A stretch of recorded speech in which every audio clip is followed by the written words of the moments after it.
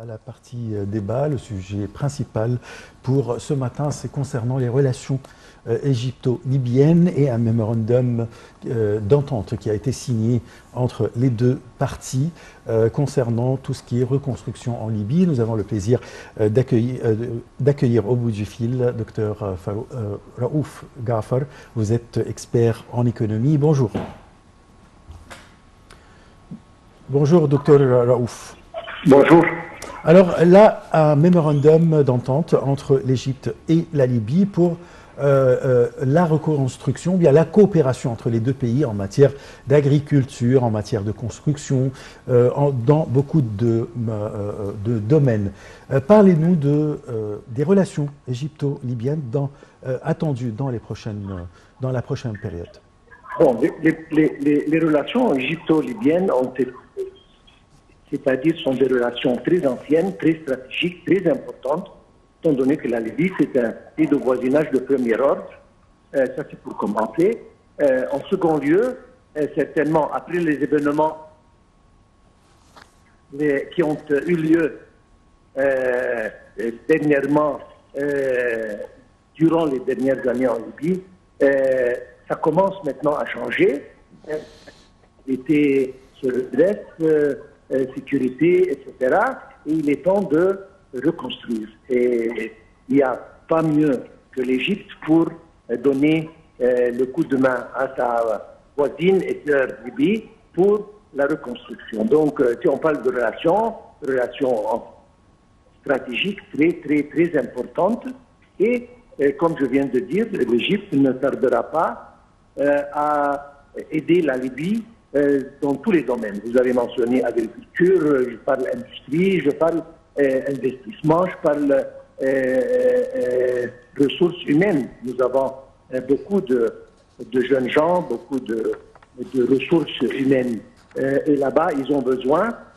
donc, on va coopérer d'une façon très, très, très grande.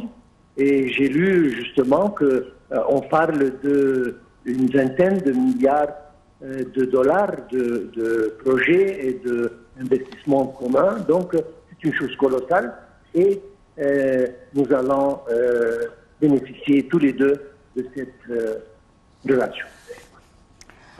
docteur Aouf Gafar, déjà l'Égypte a, commencé des projets de reconstruction dans la bande de Gaza et, voilà maintenant qu'il y a des, euh, mémorandums d'entente pour la reconstruction ou euh, le développement euh, dans tous les domaines en Libye. alors, est-ce qu'on peut dire que c'est une sorte de stratégie de l'Égypte, stratégie politique avec les pays voisins, alors pour, pour garder la stabilité de l'Égypte et aussi de la région des pays voisins? Absolument. C'est-à-dire, euh, notre président euh, a dit ça à plusieurs reprises qu'il euh, n'y a, pas de, sécurité sans développement, il n'y a pas de mhm. développement sans sécurité. Donc, si on commence la reconstruction, donc le développement, mhm. ça aide à établir encore plus la sécurité et stabilité de notre côté. Mhm. Moi, je regarde notre coopération avec la Libye non seulement comme stratégique, mais c'est un c'est un devoir. C'est-à-dire mm. l'Égypte euh, a une responsabilité envers euh, ses sœurs et frères euh, en Afrique, particulièrement la Libye certainement, pour reconstruire et pour, disons, aider la Libye à devenir ce qu'elle était jadis. Donc, c'est pas seulement une coopération stratégique, mais je viens de dire, c'est une responsabilité euh, que, l'Égypte a toujours, euh, disons, euh, présenté à tous ses, voisins. Vous avez parlé justement de la bande de Qatar d'un côté, on parle de la Libye de l'autre. donc, le développement de, notre voisin, disons la Libye, ça représente une extension de notre sécurité nationale. C'est mhm. pour ça qu'on donne cette importance à la Libye et je pense que ça sera excellent pour les deux. Euh, docteur euh, euh, Raouf Gafar, là, depuis 2011, on peut dire que la Libye vit dans le chaos, insécurité, instabilité, effondrement d'infrastructures, de, etc., etc. Alors, qu'est-ce qu'on peut, en tant qu'économiste, qu'est-ce que la Libye a besoin vraiment pour sa reconstruction? Premièrement, je vais parler deux secondes sur un plan les, forces étrangères qui sont sur le territoire euh, libyen doivent absolument quitter d'une manière ou d'une autre.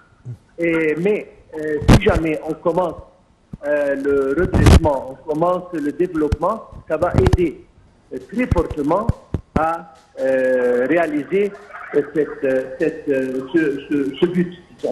Alors pour nous, c'est une, c'est une, c'est un devoir, je veux dire, c'est une responsabilité et c'est un but qui va être euh, très bien achevé. La, la, Libye, comme vous l'avez dit, a passé euh, dix ans dans un chaos, dans des temps très très tristes, si je peux dire, et ils ont beaucoup de ressources euh, minérales, beaucoup de ressources pétrolières, etc., qui ont besoin simplement d'être exploitées.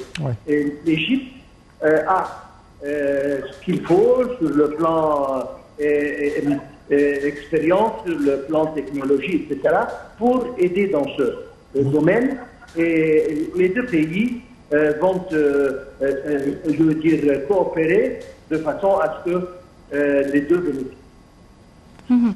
Et, est-ce que vous pensez que c'est le temps donc propice pour commencer donc la reconstruction? Alors alors qu'il y a toujours, euh, je pense, il y a... Oui, c'est vrai que le conflit euh, euh, a baissé d'intensité, mais il y a toujours des, la situation un peu tendue. Oui, ça, mais ça, commence un peu à s'améliorer. il y a une carte de route qui a été déjà agréée. je pense que les, les, les, les élections euh, doivent euh, prendre lieu d'ici, espérons, avant la fin de l'année. Mhm. Donc, euh, c'est un pas parmi beaucoup de pas, mais on doit commencer quelque part. Donc, oui, c'est le temps pour qu'on commence et j'espère qu'avec ça, la situation en Libye va s'améliorer d'un jour à l'autre. Oui, à votre avis, quel est le rôle du secteur privé et des hommes d'affaires égyptiens euh, dans la reconstruction de la Libye? D'ailleurs, ça c'était clair. Le président a dit à plusieurs reprises, encore une fois, que le secteur privé doit jouer un rôle important. Hmm. Euh, le gouvernement, oui, sur le plan politique, etc., va aider, mais le rôle le plus important sera joué par le secteur privé en forme d'investissement, en forme de joint venture, en forme de, euh, travail coopération mm. euh, pour justement exploiter euh, euh, d'un côté les, ressources qui existent là-bas et pour développer la Libye sur tous les domaines. Oui, nous comptons sur les investisseurs privés et le secteur privé pour développer la Libye et ça se. Euh, comme on vient donc de, dire qu'il y a plusieurs euh, mémorandums d'entente qui ont été signés entre euh, l'Égypte et la Libye en matière d'agriculture, de solidarité sociale, d'aviation civile, de transport maritime, de logement, de sport, même de sport et de pétrole et de gaz aussi. alors, on peut dire que c'est un, un, plan global de réforme économique et politique aussi qui mérite, je pense, plusieurs années à être, euh, à être mises en place. Alors, euh, absolument, absolument, absolument. Mhm. Euh, comme je, je, viens de dire, la, la, sécurité nationale de la Libye, c'est la sécurité nationale de l'Égypte. Et l'Égypte va aider la Libye sur tous les domaines vous avez mentionné quelques-uns, mais je, je pense que l'Égypte jouera un rôle, surtout les domaines en Libye, et, je pense que nous avons tout ce qu'il faut pour, pour faire ça. Et, je, pense, encore une fois, à mon opinion, bien qu'il y aura beaucoup de pays qui vont participer, mais l'Égypte, à mon opinion, sera le, pays qui participera le plus dans le développement de la Libye dans les années qui viennent. Euh, j'aimerais bien que euh, vous demandez sur, concernant la main-d'œuvre et la formation des Libyens. Alors on sait très bien que depuis euh, des années et des années, il y a les Égyptiens qui vont travailler en Libye et, transfèrent leur expertise et forment les Libyens dans tous les domaines. Est-ce que ça fait partie de ce plan? Absolument. Euh, d'ailleurs, euh, nous avons entendu que euh, pour commencer, la Libye a besoin d'un million d'Égyptiens mhm. pour, aller aider là-bas.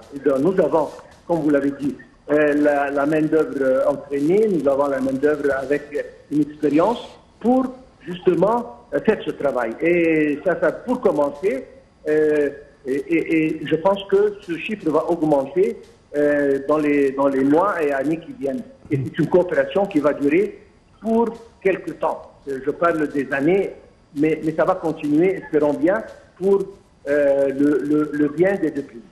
Hmm. Alors, euh, docteur Raouf euh, Gafar, analyste politique, merci beaucoup pour toutes ces informations et passez une excellente journée.